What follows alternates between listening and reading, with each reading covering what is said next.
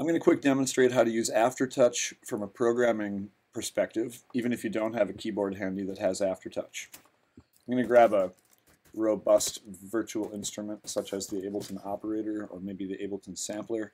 I'm going to head right over to the global tab and I'm going to notice that I have Aftertouch routing along with all the other keyboard kind of messages. Aftertouch is not unlike velocity, but it's dynamic during sustain. So instead of a single message or trigger type value when the note is depressed or released, which you get with velocity, in this case, it's a steady stream while you're holding the key down. So my favorite thing to use it for is for routing it to parameters that uh, require that that like dynamic motion. One of my favorite things inside of the operator to route this to is FM drive, or maybe the crossfade of an oscillator. Let's start with FM drive. It'll be a little more obvious to hear it. I'm just going to go ahead and pluck a few notes. add some FM to this. But I want some sustaining FM because I'm going to do this aftertouch thing.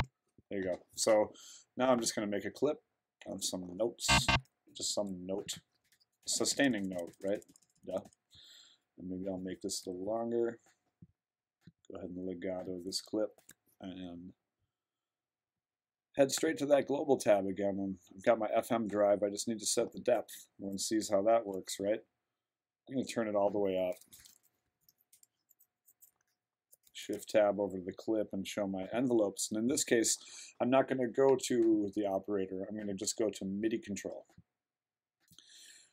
This is where we're going to get a bunch of cool opportunities to tweak and freak stuff, but the pressure is the land that we're looking for here. Channel pressure. There's a couple different kinds of pressure which we can get into, but pressure is another word for aftertouch. So what I can do now is if I'm showing this, of course, and I have my um, pencil tool, I can program any parameter.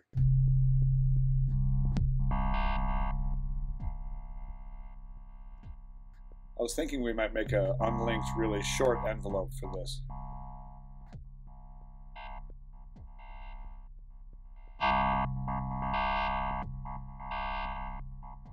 Three beats. And look, we have another target we can send it to. Let's do the crossfade. Actually, we wouldn't want to do crossfade and FM drive at the same time. I'm going to switch my algorithm quick.